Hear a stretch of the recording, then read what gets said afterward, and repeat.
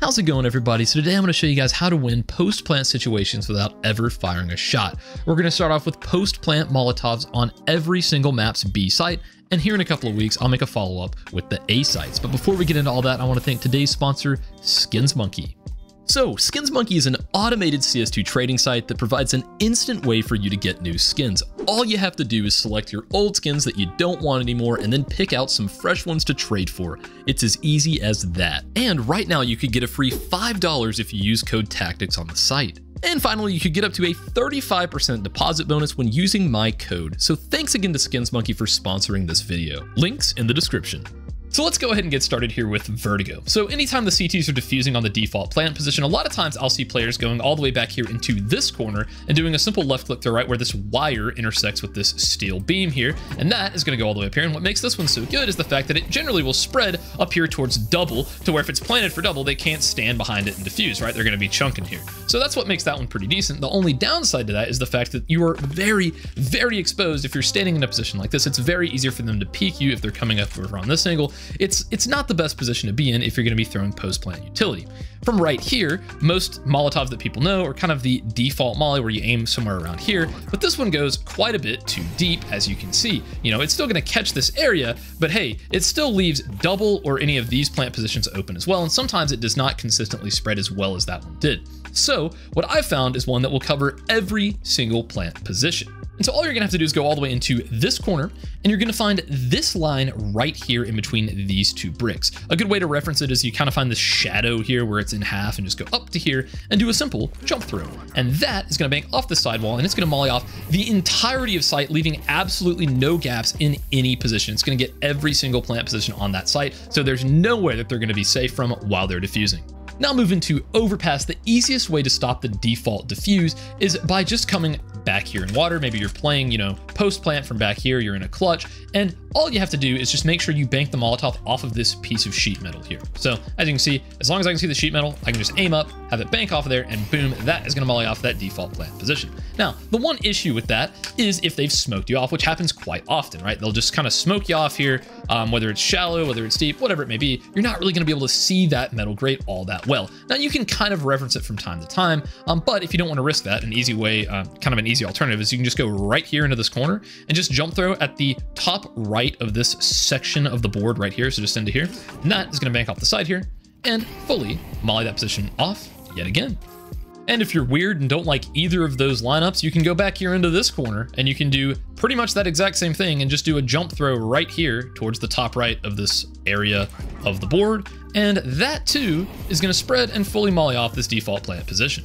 Whenever I'm in a post-plant position on Inferno, a lot of times I end up back here towards church, especially in a clutch, right? And if I'm on this side and they're not pressuring me too hard, it's pretty easy to just bank a molly off of this building right here. And that's pretty much every single time I'm going to fully molly off that default plant position. I threw that horribly and it still managed to spread and molly that off. But if you're ever getting pressured, right? And a lot of times I end up kind of wrapping behind them if I hear the CTs pushing on the side. If I, if I start wrapping behind them, I end up in this area quite a bit. And believe it or not, you can just go back into this corner and you can go up from the top of the B. There's a brick right here. The top of this brick, just go all the way over to the right to this little design thing. I don't even know what you would call it, but just do a simple jump throw right here. And that's gonna pop straight down and completely molly off this position. This is also really good for CTs to be able to stop the default plant. On the flip side of that, if you're ever in a post-plant position here on Banana, a great way to deal with that is just by going into this corner, and you can find this pillar right here, right? And there's this little lighter colored divider right here. You can just do a few steps and then do a jump throw, and that's gonna pop all the way over here and fully molly off the defuser just like that. Now, that is a very forgiving lineup. You can just take a couple of steps and it's going to hit no problem whatsoever. Or if you want to, you can take a bunch of steps. You can run almost all the way up to this wall and it's still to hit pretty much the exact same. So it's very forgiving. You don't have to worry. I know sometimes people struggle with those run throw lineups, but hey, I think you're to be able to pull this one off. Now moving on to Anubis, a great way to stop the default plant position is if you're playing back here. Now this is a super safe angle. You can be tucked all the way over here to where even if they peek you, they're not gonna be able to do it. And then whenever you're ready, you can just go into this position right here and simply go up from the top of this guy's head kind of into this. There's this line right here, this bottom line on this divider. So you go from where this guy's head would be up to here and do a W jump throw. And that's gonna pop straight down and that's gonna fully molly off both the default plant position as well as this other plant position here, I'm only on this half. So don't rely on it stopping a plant if they've planted in the middle because they could always just defuse from the other side. But the best part about it is this molly, now the visuals on it, it doesn't look like it spreads all the way to this corner, but believe me, it does. I'm completely burning right here in this position. As you can see, um, there's really nowhere I can stand without getting burned. So now moving on over to Ancient, one of the best ways to stop the defuse here is by going right here into this corner and just doing a simple left click right on the corner of this little statue here. That's going to pop straight down and fully molly off this default plant position. And while this may be self-explanatory, if you're ever in cave, you can just aim kind of on the lower end of right here and just do a run throw with a molly, and that's going to pop right here and do the exact same thing, fully mollying this off. So now moving on over to Nuke, there aren't a lot of good post-plant Molotov situations for you to be able to use because, hey, it's very close quarters and there aren't a lot of positions that you're going to be in that you can very easily throw Molotovs from. However, if you're stuck here in single and you've planted over here in this safe position, a great way to deal with that is just to aim here towards the left side of this silo and just do a run throw with a molly right at it, and that's going to pop over to here and fully molly this position off, and you never even have to expose yourself to him.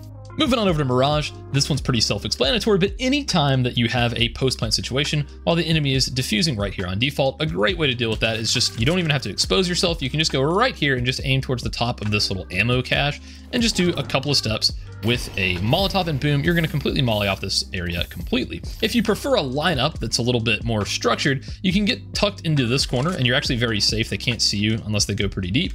And you can just do a simple left click right here where this metal bar intersects with the top of this little part of the roof. And that is going to do pretty much the exact same thing. So whichever one you prefer. And if your cat may be playing timing behind them or whatever, you can just do a run through at the bottom of this window to molly this off as well if you've gotten yourself in a tricky situation. That same lineup even works from all the way back here. So say you're playing post back here, you can just do a run through, bank it off the bottom, and that's still going to spread and molly off this default plant position. Now, if it's planted right here, you probably don't want to be cat because obviously it's not planted for you, but it's just worth mentioning that you can just bank it off the bottom of this window and it's going to molly it off. So yeah, guys, I hope you enjoyed this video and I hope you learned something new from it. If you have any suggestions, suggestions for me, let me know down in the comments below. And if you're wondering why I have a new pair of gloves on, it's because I gave the last pair away as a gift to the fans for the last 50,000 subscribers that we've gained. So big congrats to the Happy Potato 7 for winning that giveaway on Twitter. Um, I'll definitely be doing more giveaways in the future, especially on Twitter. So go ahead and follow me there if you're interested. Anyways, guys, if you want to support me, go ahead and click that Skins Monkey link down in the description, and I'll see you in the next one.